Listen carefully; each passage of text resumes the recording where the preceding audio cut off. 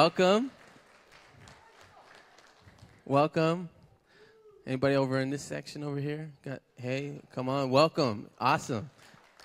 So, uh, in your bulletins, there's a connection card.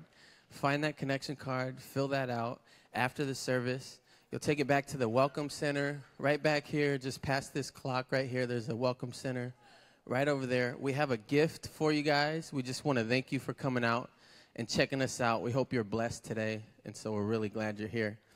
Um, also, you guys can fill out your connection cards and uh, and just share some of the praises and the prayer requests that God's doing in your life. Um, maybe you want Him to move in a certain way.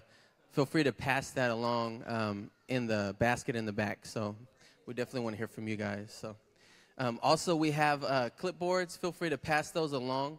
That's just a way for us to, to know uh, you're here, and if you're not here, just for us to reach out and say, hey. So, we are really blessed today because we get to celebrate some youngsters graduating. Yeah, come on. Yeah. Yep.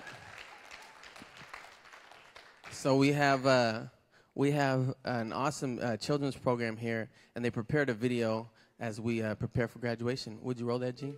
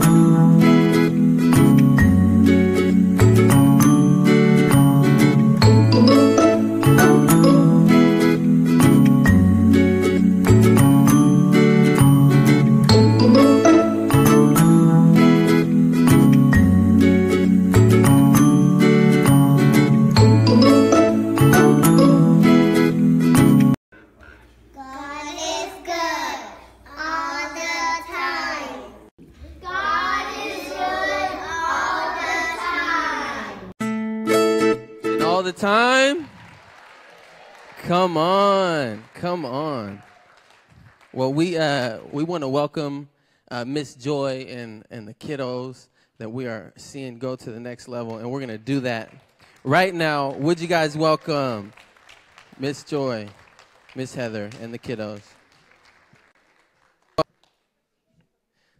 I, I, had, I had this music queued up, and then it didn't work, so we're just going to do it right now, a cappella. Dun, dun, dun, dun, dun, dun.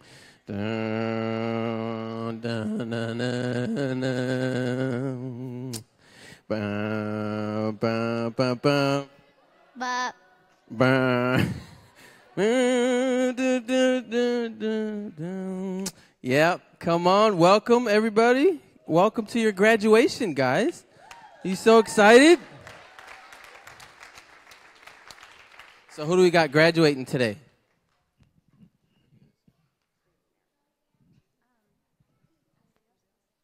Are there any fifth graders in the room? Any other fifth graders? No? Anybody? No? Okay. So I'm Shalane, and I am one of the ministry leads for the elementary room. I have Chelsea with me here today. And Miss Joy and Miss Heather's class. Yes, have put that video together for you. And I was lucky enough to have all the kindergartners that were graduating in my class this morning. It was amazing. So, I'm not going to cry. but the fifth graders are graduating to youth group. And we have Jaden and Rachel and Eric and Vika. And we have a gift for you guys here today, and we have some certificates. Okay, and the certificates of.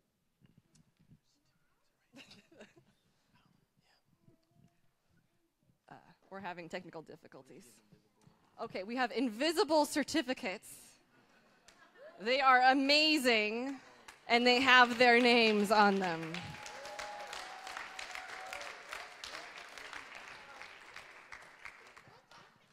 Vika, this is for you. You guys have grown so much and so much maturity in Jesus. And He's calling you into your purpose and your identity. You're welcome. And they're so polite.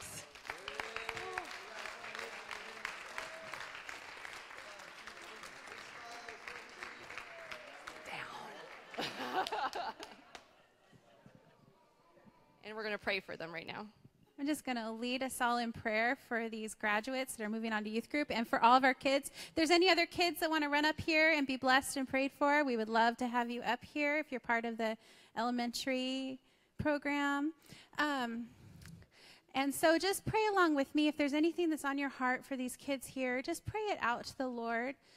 Um, Father, we just praise you and thank you for Vika, Rachel, Eric, and Jaden and everything you have placed in their hearts and the destiny that's in their lives and your original intent for them.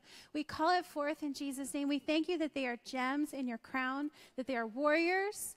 Lord, that they have the full armor of God. They will take their stand against the devil's schemes. They will be filled with all the fullness of God, that they will know your love, Jesus.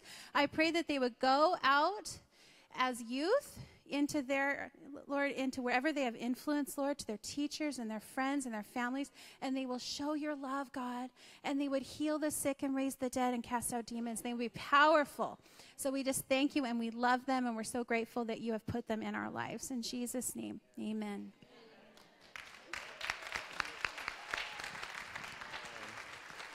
Great job, guys. And they got the Bible in 366 days, the youth edition, because you guys are going into the youth group. So come on, let's make some noise for them.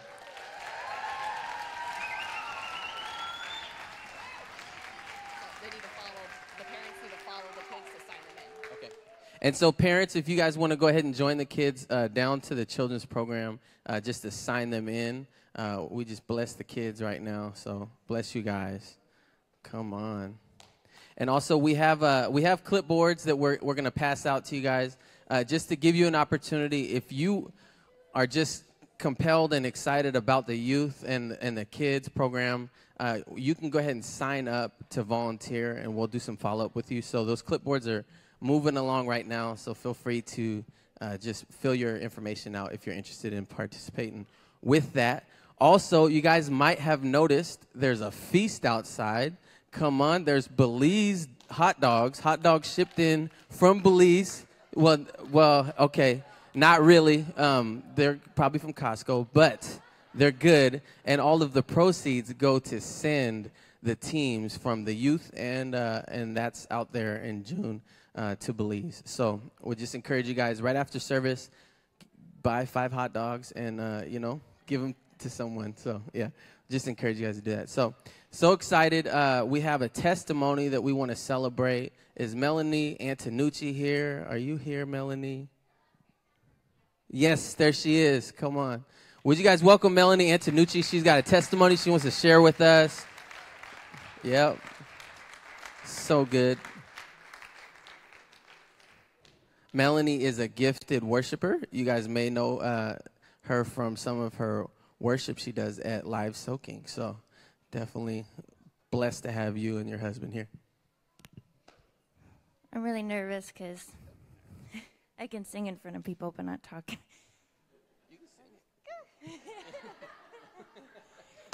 so anyway, um, I also was praying about what to share, um, and I really felt like God was impressing on my heart to be a little bit more vulnerable today. So,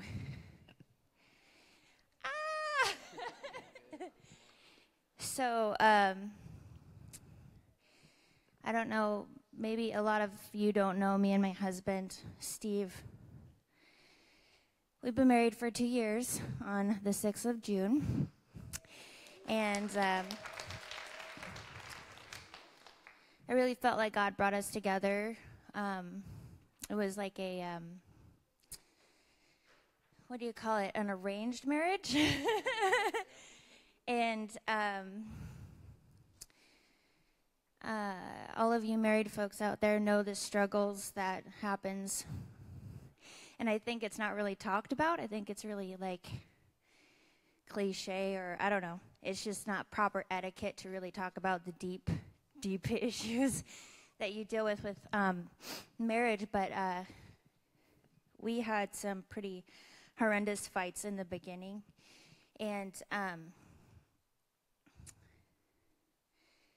it pretty much seemed like uh, there wasn't any hope.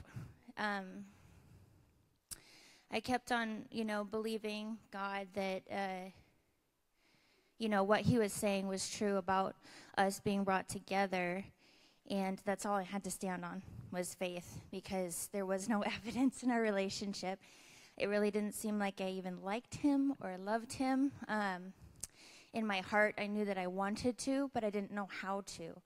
And so um, uh, um, I was becoming very isolated. I didn't have um, very many friends. Uh, uh, it just was impossible because of the type of relationship that we had. Anytime we were around people, there would always be an explosion of uh, fighting, and um, and it was really embarrassing and it was really scary.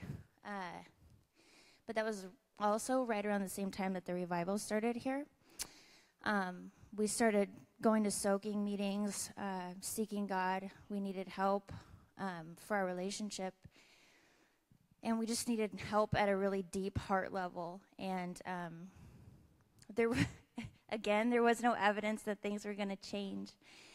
But um, I can tell you that over the last two years that we've been married, it is a complete turnaround, like 110% better. Um, Jesus just totally invaded. I mean, my husband's a different person. I'm a different person.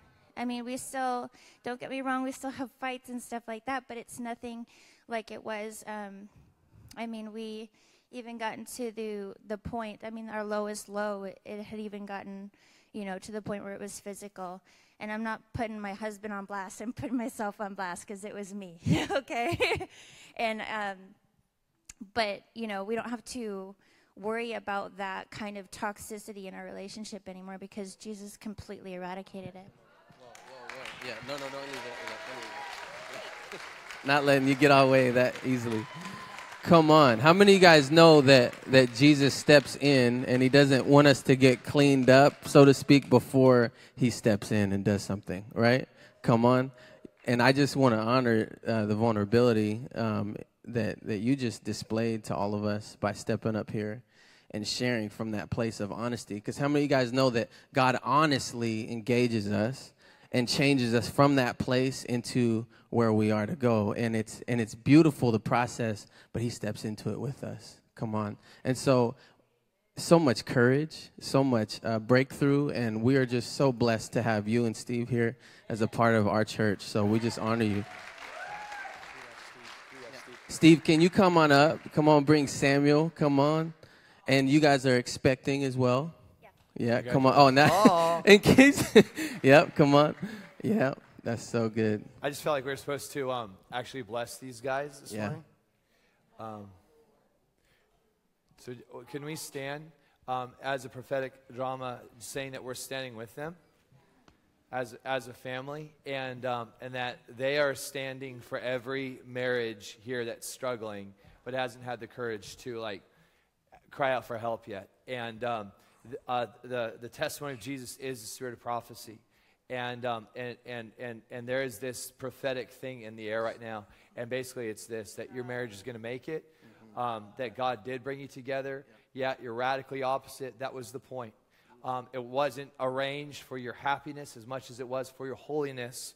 Um, but happiness is coming. Joy is coming in the morning. And so I, I, this is what I wanted to do. I wanted to honor you um, because, uh, uh, because the Lord loves you and we are so proud of you. So, Father, thank you for this couple that you brought together. we bless them. Steve, you're an awesome man of God. You're an awesome son in this house. And Father, we just thank you for this awesome man that having done all, he's continued to stand. And we bless him in his strength. We bless you, Melanie. We bless you as an awesome woman of God, as a daughter in this house.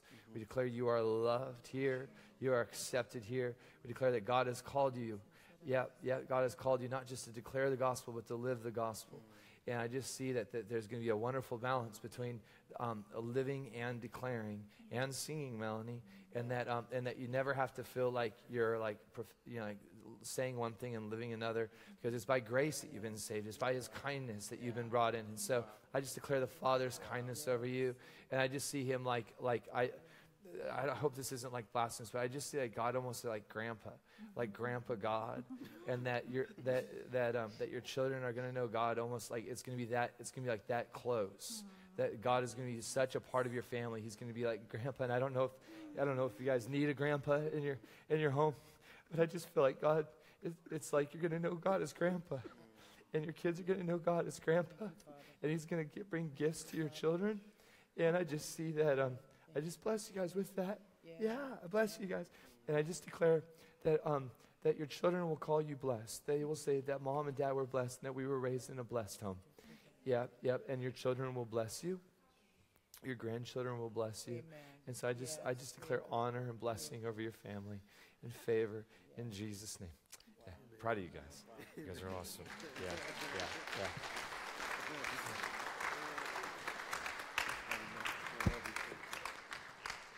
Wow. Wow. Come on. Yeah, we're strong from these moments of family time. Come on. Yeah, we're a family that God's building here. So thank you again, uh, Antonucci's, for, for leading in that. We bless you guys. Yeah, so um, so come on. We're excited to, to dive even deeper and, uh, and into uh, what God's doing with this Engaging Heaven, Transforming Earth series. It's neat to look around and, and see how He's transforming Earth. Amen? You know, to like hear from people's testimonies of God breaking out and through in their life. And so as we dive deeper into the book of Acts, uh, just excited to see what God does. So would you guys welcome Pastor Darren?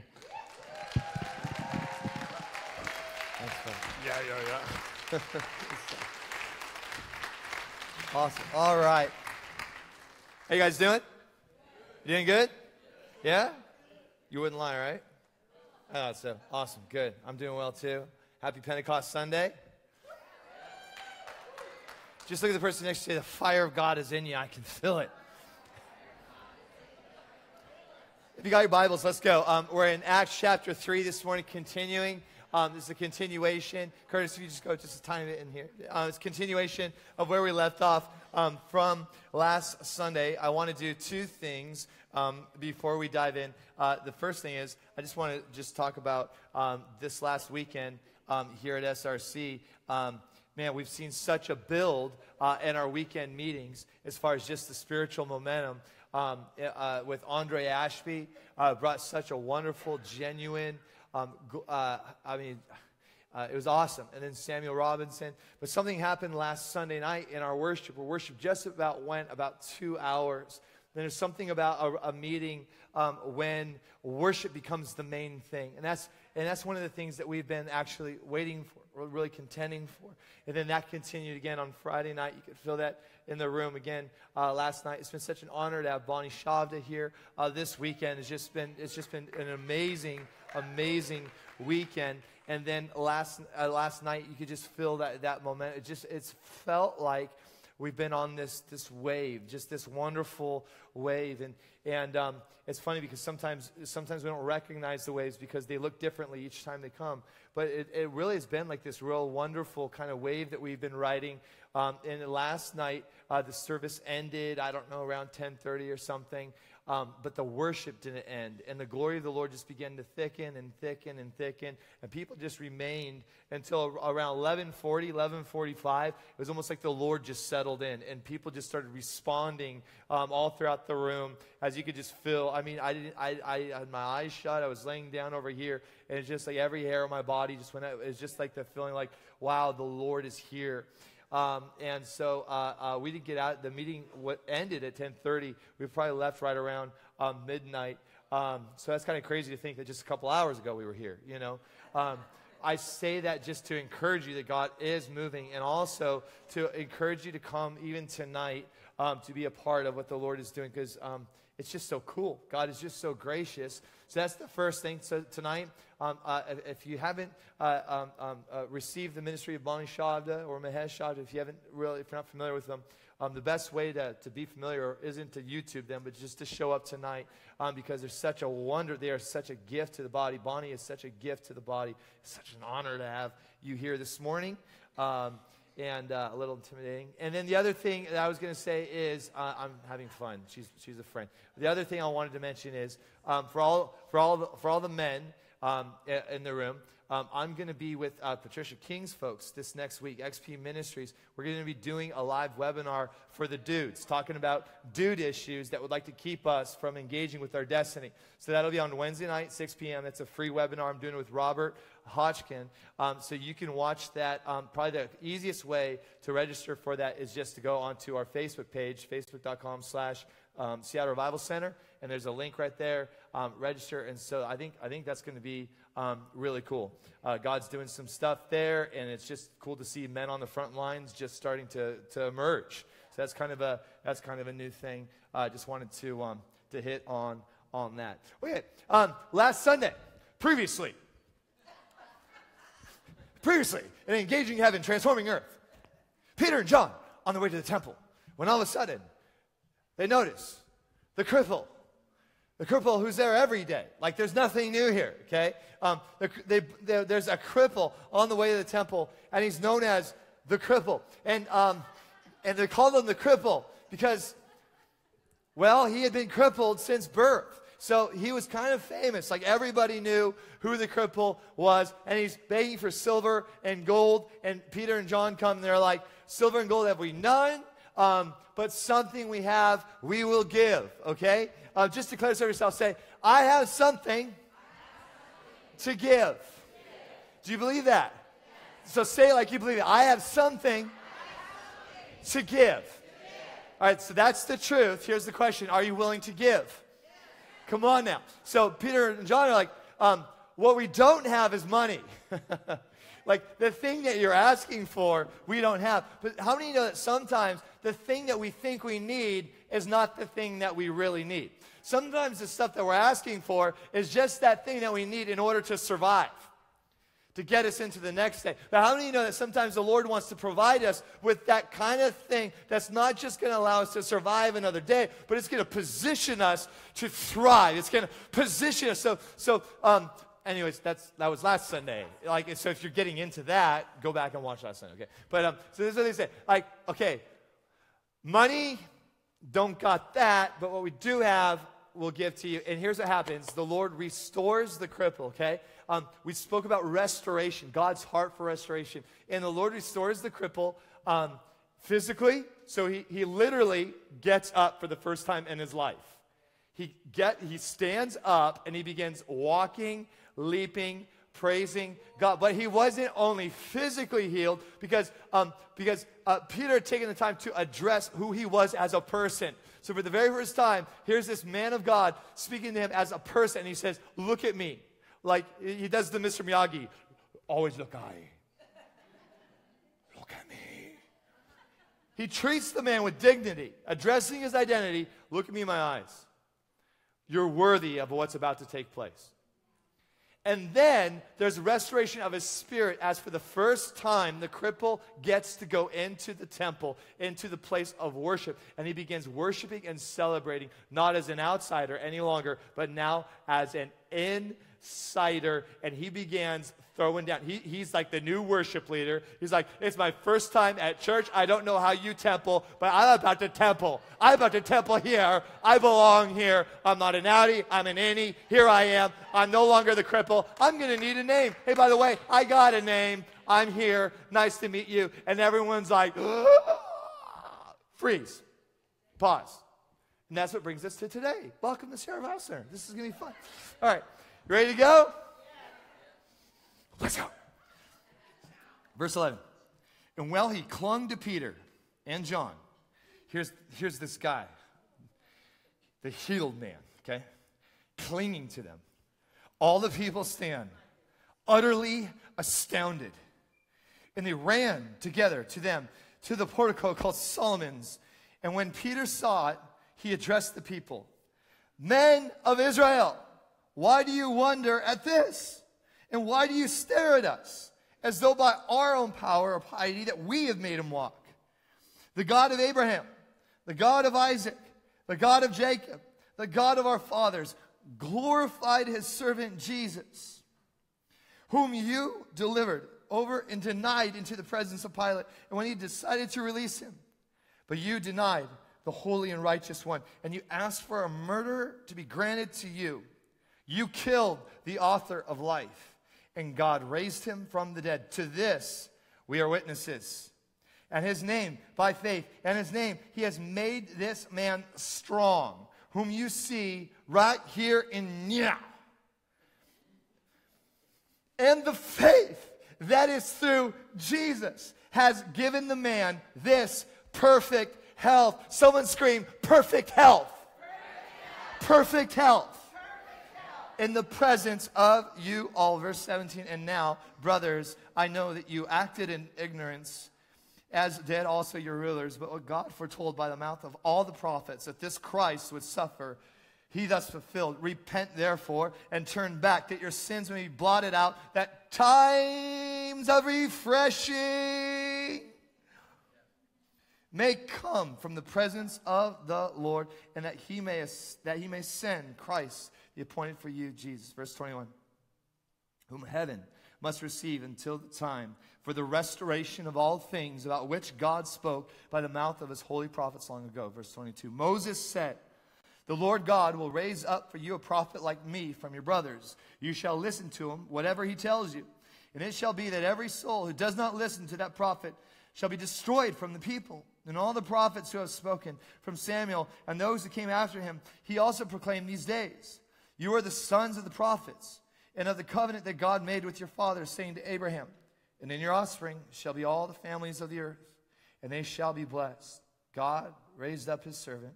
He sent him to you first to bless you by turning every one of you from your wickedness. The reading of the word. That's where you just go, Jeez. That's a sermon. That's a sermon. And that's the second sermon in the early church. And, and for those of you that were around, we actually looked at the first sermon that Peter preached. Do you remember the first sermon? Now you're like, some of you are like, didn't we already read this? Like, yo, yo, yo, yo, yo, yo, yo, hold up, hold up, hold up, hold up. Pastor Darren, like, I think you're stuck on replay. Like, we studied this sermon. Like, this sermon is so similar to the first sermon that Peter preached in its construct and in its, and its structure. So, yes, great observation, you little observers. You, like, yeah, it's very, very similar. What's different is the audience, okay? So, this morning we did a 9 a.m. service, and you're at the 11 a.m. just for you visitors, this service usually gets out about 4 in the afternoon. Um, now, the difference, I preach the same sermon, okay? In this, ser- I'm kidding, just hang in there. I, I preach the same sermon at 9 a.m. that I am the 11 a.m. And that for all, for all y'all carryovers, like you'll know this to be true, that oftentimes, even though we're bringing the same sermon, it's two radically different sermons because of the people that are gathered. Now, the difference between the very first sermon that Peter brought and this sermon was that the first sermon was to the mockers. So remember um, on Pentecost Sunday, right, when the Holy Spirit came in the upper room, right? It came as a fire. So the Holy Spirit comes as a fire. 120 uh, people in the upper room comes down, divides 120 ways, comes up and in, and immediately the people of God just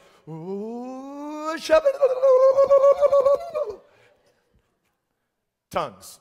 All right, the gift of tongues. And, and like and immediately they, they began declaring the gospel in all these different languages. So um, all these nations are gathered there, um, and they're there for the feast. And all of a sudden, they began hearing about Jesus and their native tongue as the curse, the language separation and division thing that took place at Babel, got reversed. And immediately, everybody begins hearing the gospel. The testimony of the life of Jesus the Christ as Messiah. They heard it in their own language and they said, Whoa, whoa, whoa, whoa, whoa, this is awesome. And yet, there were others who doubted. How many of you know this? That every single move of God, even in like this crazy revival dynamic, even in this one, there are those that say, Yes, I was born for this. And then there's always going to be those who doubt.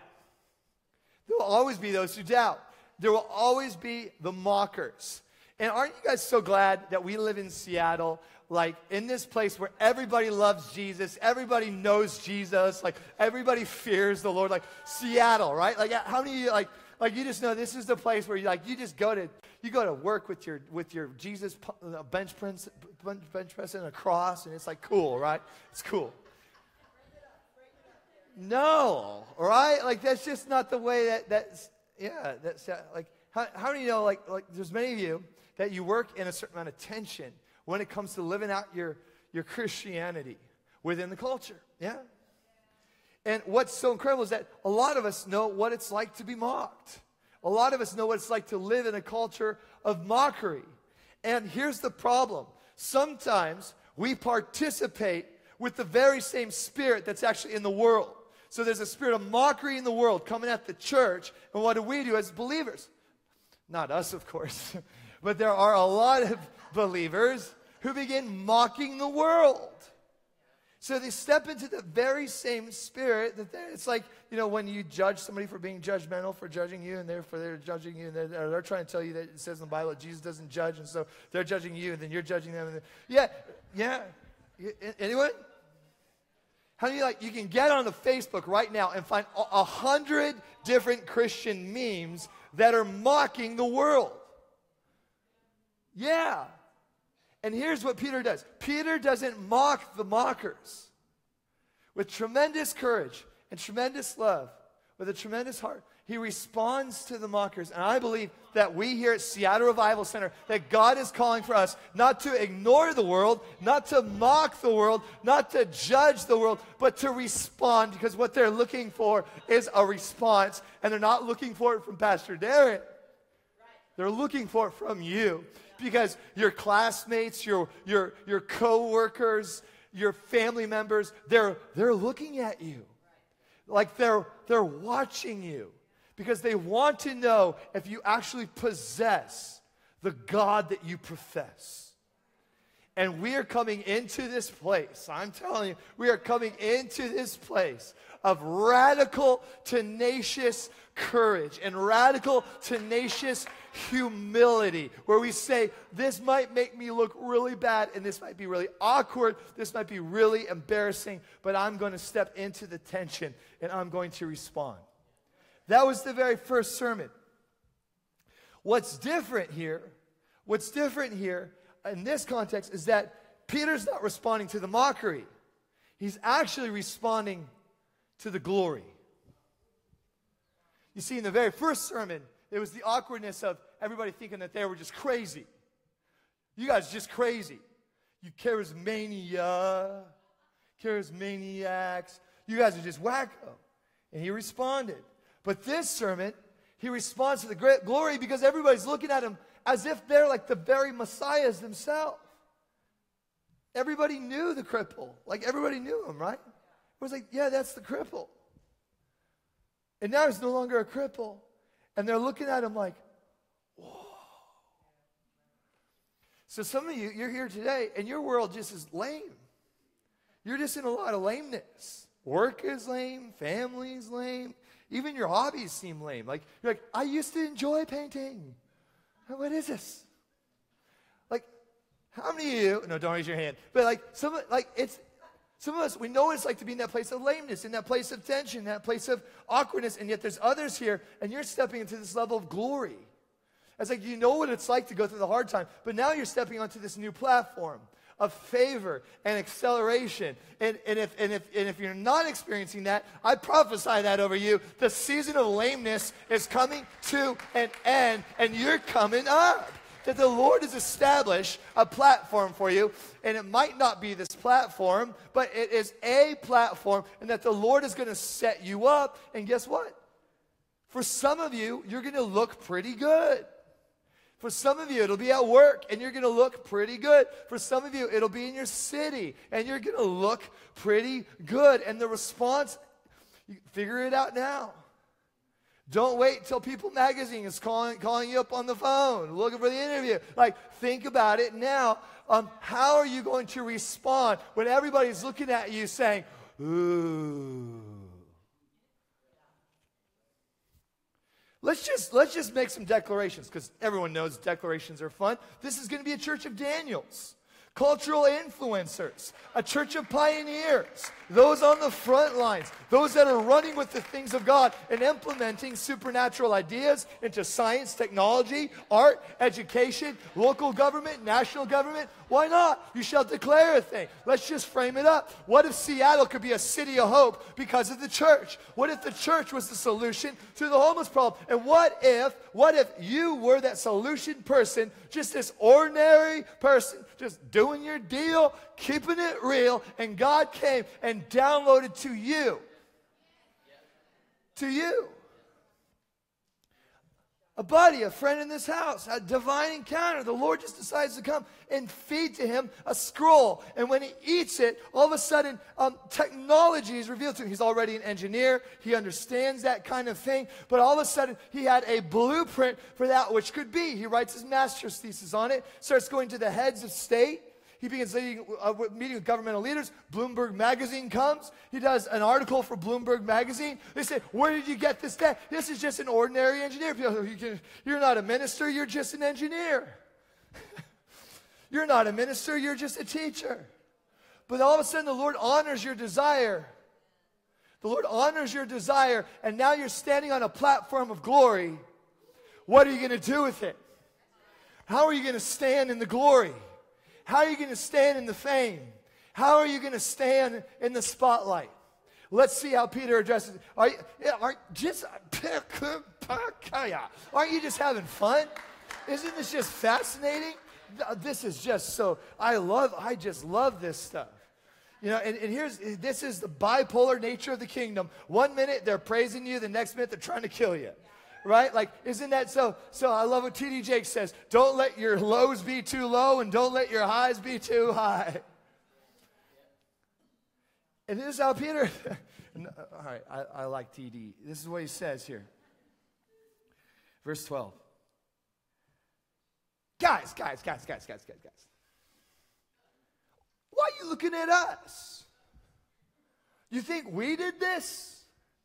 That's, that's what my Bible says. That your Bible says? Look at that. He says, Men of Israel, why are you wondering? Why are you staring at us? It's not, you think it's by our power, it's by our piety that we made this man walk? Verse 13. The God of Abraham, the God of Isaac, he, he, he continuing. This is what he does. He redirects. Here's the thing. A lot of us, if we're honest, we think that it's our performance that dictates our value. So if we perform well, we're valuable. If we don't perform well, then we don't have value. And a lot of us, we feel this expectation to meet up to people's, you know, criteria. There's this cult- cultural expectations and religious expectations. Um, we'll be talking about this week with the guys. A lot of men in the church feel like there's this set of expectations. There was a period of time within the church where it was like, oh, the church is just a bunch of women, and the men are not even men, and so men need to man up. That's for real. I went to an event called Man Up. So look here, you little dude. It's time to man up. Do you have a gun? I didn't think so. Go buy a gun. Do you got a six pack of, of abs? not, not of corona. Like, start doing some sit ups. Do you like to fish? Do you like to hunt? Come on. Oh, man up. Right? There was this kind of this weird, kind of masculine kind of thing in the church where, like, like if you want to be a dude in the kingdom of God, then you got to dude up. Come on. Ugh. And we had all the, we had this weird masculine kind of, and, and, and, there was this, a lot of stuff about the feminization of the church. Now, I'm not going to lie, okay? I like to fish, I like to hunt, and um, I like all that stuff. But that's not the goal for dudes in the church. And you, uh, oftentimes, dudes uh, uh feel all this pressure. They, I got to be all it. I'm not measuring up for my wife. I'm not measuring up for my kids. And now I'm not measuring up for Pastor Darren. Bro, bro, bro, bro, bro. You don't have to be more of a dude. The goal is not to be more of a dude. The goal is to be more like Christ. And for all you, for all you ladies, all you ladies, all you ladies. Uh,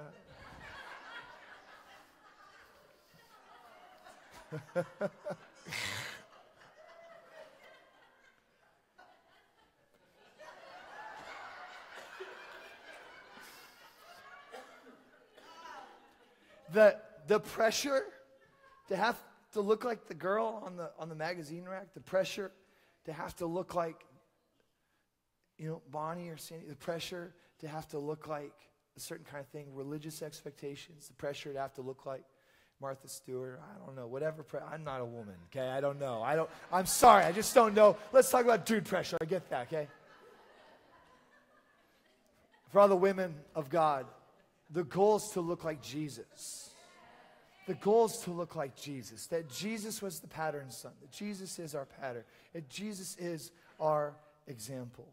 And so I want you just, whatever those things, you know, the truth is that performance does determine value. But it doesn't have to be your performance. It can be the performance of Christ Jesus. That you get to put on his perfect performance. That he who did it right, he who nailed it, took on our report card, took it on so that we could take on his perfection. Isn't there a tremendous amount of rest in that? So you, it's not that you need to do you well, it's just that you get to be you while falling in love with Jesus. And all of a sudden, this thing isn't like being on a treadmill anymore. Ah, I can't keep up all of a sudden this thing is this beautiful love relationship with Jesus. If you're in a rough time right now, criticism, judgment, all that, it's coming at you, don't allow that to define you. What should you do with all these arrows, all this stuff, all this attack? Redirect it. Say, awesome, I'm, it's not going to define me. All this stuff. Yep, Jesus, it's yours. Are you in a place of fame and favor and fortune? Awesome. Redirect it. Jesus, it all belongs to you. All this stuff, neither good nor bad, it's not going to define me. Jesus, you define me. Yeah? Don't let the pressure of positivity or negativity come upon you. Let your life be about Jesus. All right, number two. So we redirect. Number two, what does Jesus, what does Peter say here? The God of Abraham, the God of Isaac, the God of Jacob. So this was so cool. He's like, You want to talk about me? Well, too bad, because I want to talk about Jesus.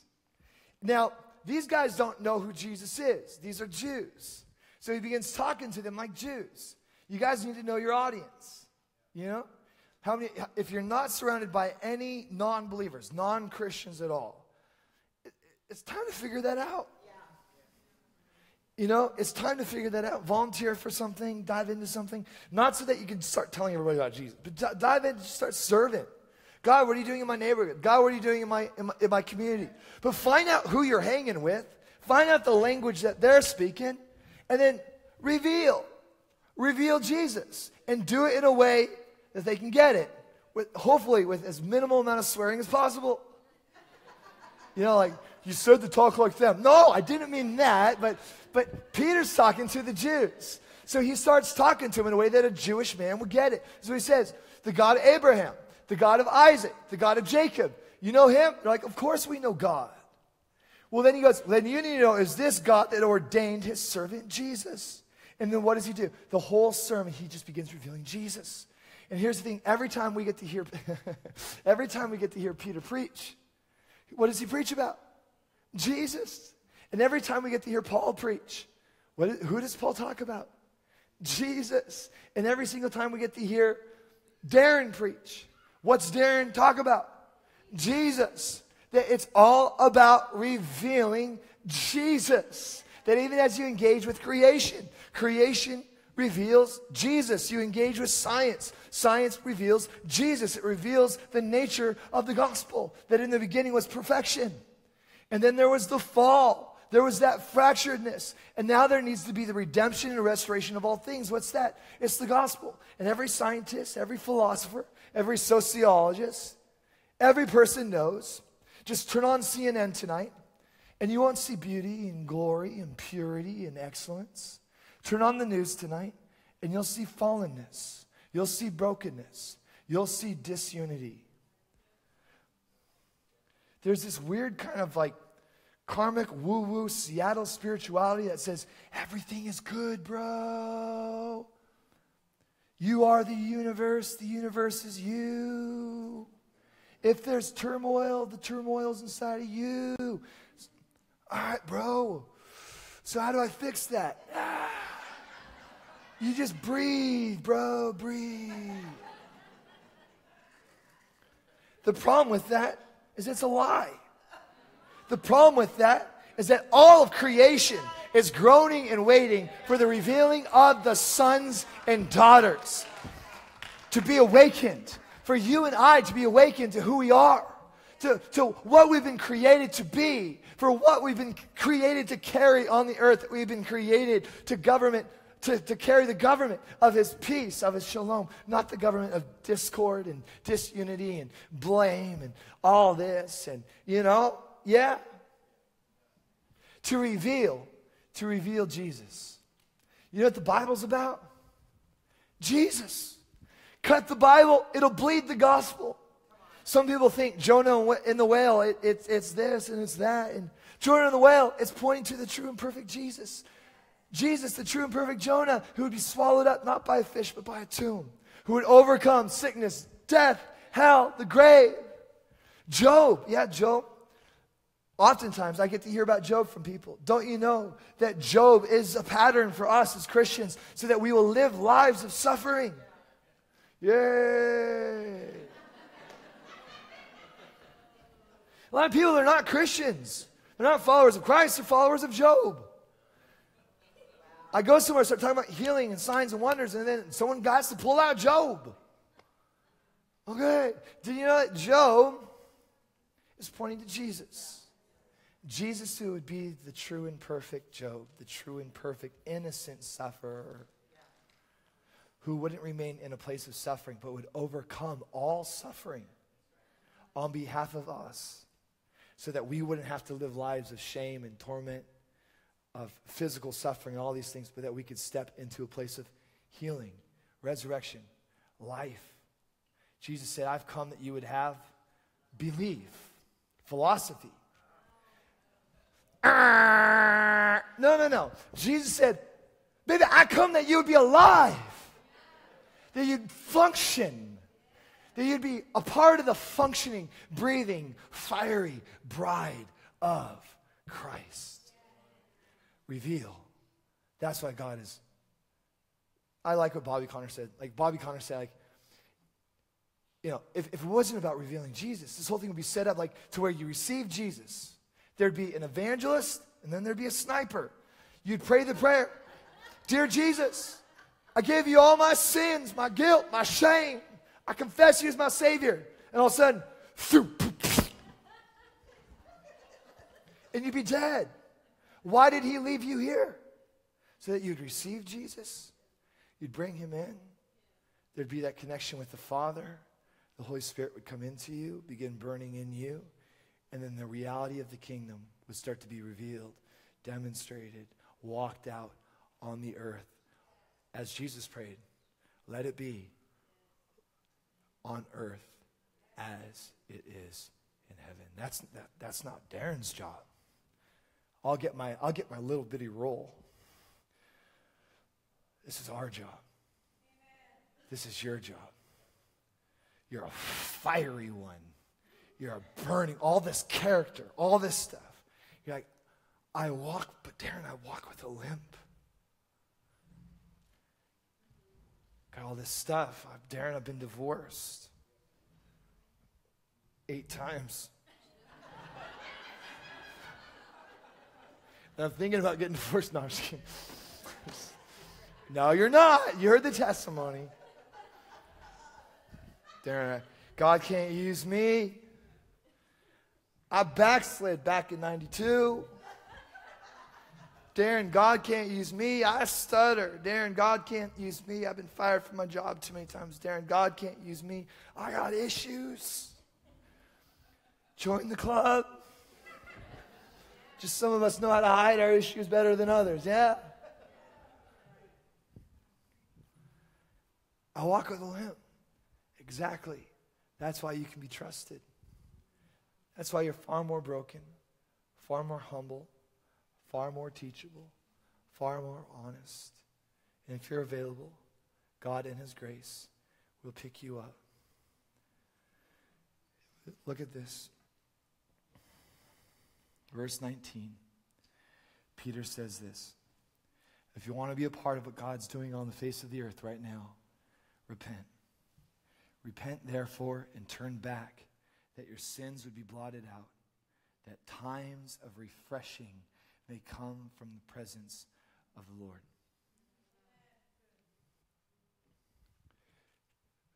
A lot of people think that repentance means we tear our clothes, we cry, we scream, I'm sorry.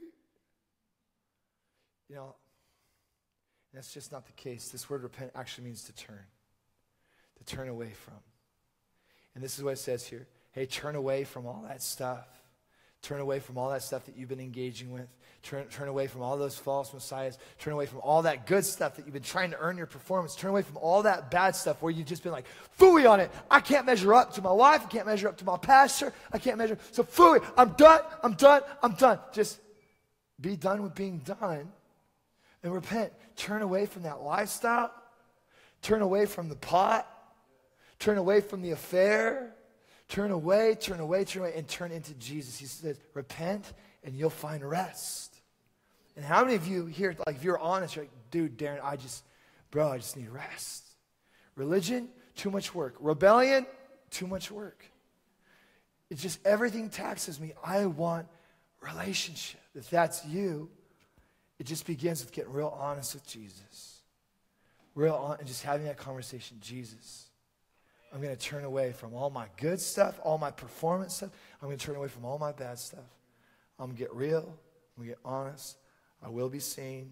I will be heard. I will be known. I will be changed. I'm not going to hide anymore. I'm going to come up. And by His grace, by His mercy, I'll be loved. I'll be loved. You'll be loved. You just declare, you know, some of you, you're not going to believe it. That's okay just want you to say it. I promise you, you're not lying. You're just prophetically framing something over your life. But just declare this I am loved here. Just speak that over. I am loved here. Yeah, it's not about the, per, the future version of you. It's you right where you're at right now. You and all your stuff, with all your baggage, with all Guess what? You're loved. You're loved. You're loved. And I promise you this if you'll repent, enter into his rest He will do the heavy lifting that you've been trying to do. And He'll accomplish more in the next 30 days than you've been trying to do in the last 30 years. He's, he's so God. Like he's such a he's such a God. He's he's God. He's so capable. Don't you just want God in your life just deconstructing and reconstructing? We just have to be willing to put put the hammer down. put the tool belt down. And just to give our lives, just to surrender, say, God. Yeah? Yeah. That's the invitation. Repent and enter his rest. Enter his rest. There's no condemnation, there's no shame for those who are in Christ Jesus. Would the deacons come? We're going to celebrate communion together as a family.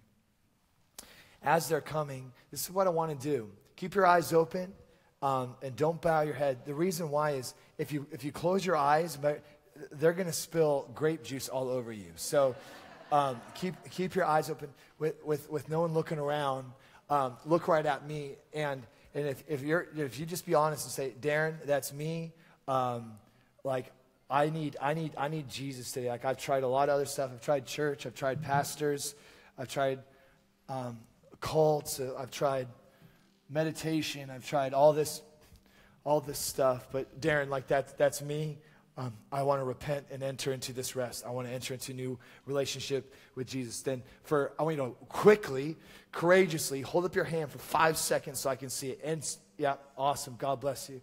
Yeah, yeah, yeah, yeah, yeah. Awesome. God bless you. So, yeah, God bless you. Awesome, awesome, awesome, awesome, awesome. Yeah, yeah, yeah, yeah, yeah. You say, Pastor Darren, I need to repent. I've been engaging with all kinds of stuff and it hasn't been Jesus, but today I want to start with Jesus. Hold, just shoot that hand up. Just shoot it up. Awesome. I saw you, bro. Thanks for shooting it up again. Awesome. Anyone else? Because we're gonna we're going to repent. We're gonna enter into His rest, and we're gonna leave this place changed. Is that good? Let's just pray. Just come before Jesus right now. Let's just have a conversation. Just see Him coming to you. Just, just say hi to him. Hi, Jesus. Jesus, I need you. I've been trying, trying, trying. I've been doing, doing, doing. I've been trying to get this thing right. I've been trying to do it the right way. I've been trying to measure up. Today I'm going to take off all my self righteousness. I need you. I need your perfect performance to be mine. Just have a conversation, whatever it is. Just say, Jesus, I need you. I need you to be my Savior, my lover, my comforter, my friend.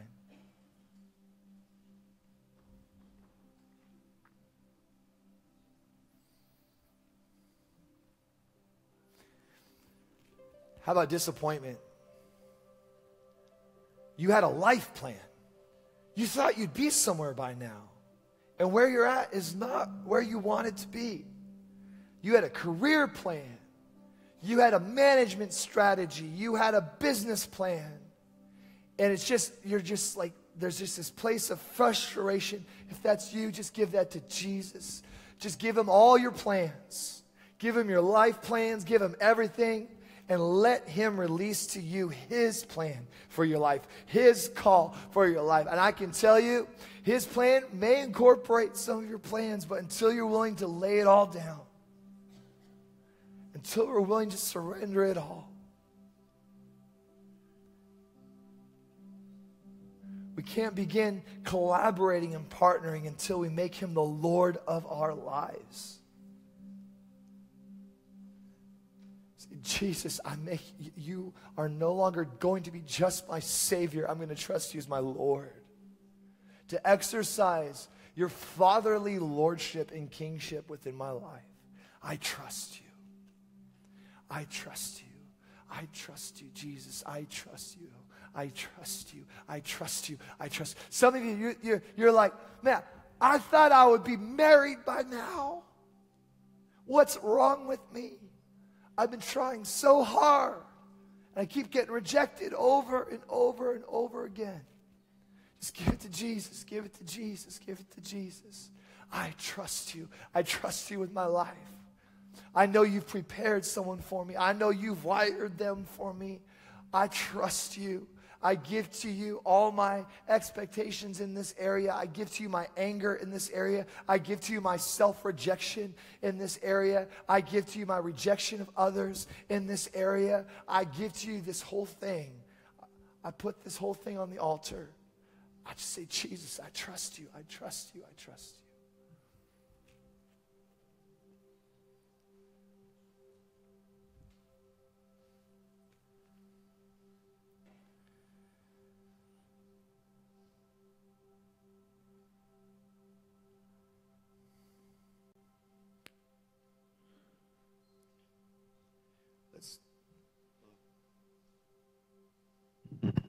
Let's stand.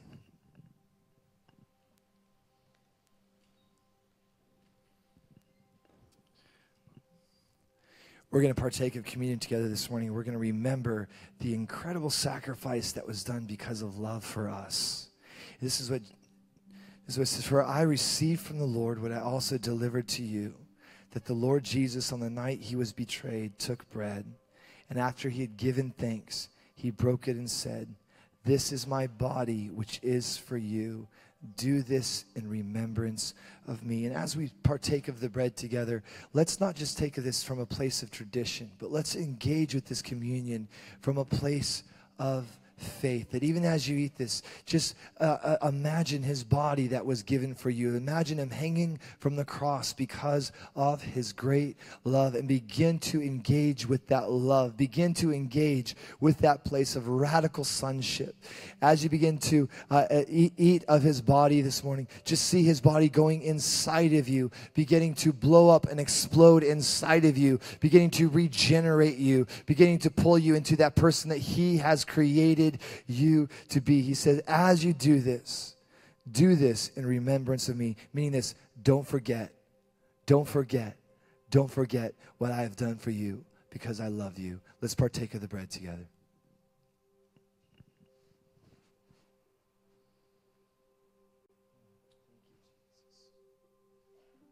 Thank you, Jesus. Thank you, Jesus. We love you, Jesus.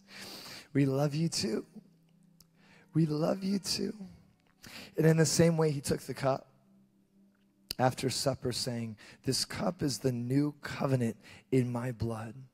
Do this as often as you drink this in remembrance of me. For as often as you eat this bread and drink this cup, you proclaim the Lord's death until he comes. Father, thank you for your blood that was shed for us. Jesus, thank you for your blood. Father, Jesus, we thank you for this life transforming, this body renewing, this DNA cleansing, this generational curse breaking blood. We thank you that the blood of Jesus, it speaks on our behalf. We thank you that this blood, it speaks even for our children and our children's children. We thank you, Father, that we are not defined by the mistakes of our fathers or forefathers or generationally. We are defined by the precious love of Jesus. We thank you for the blood that it speaks. We receive your blood. We engage with your blood. We thank you, Father, for the blood of Jesus, even bringing healing to our mortal bodies and cleansing us of even generational infirmity that would love to define us. We speak in this place every disease to bow to the name of Jesus, to bow to the authority of King Jesus. Everything generational genetic, it must bow to the authority to King Jesus. We thank you, Father, for your healing power that's in this room room right now, we drink in remembrance of the Son. We drink in remembrance of the King of all kings, the Lord of all lords, Jesus the Christ. Let's proclaim this new covenant as we drink together.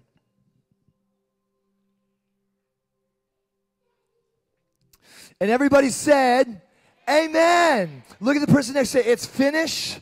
You are free. You are free indeed.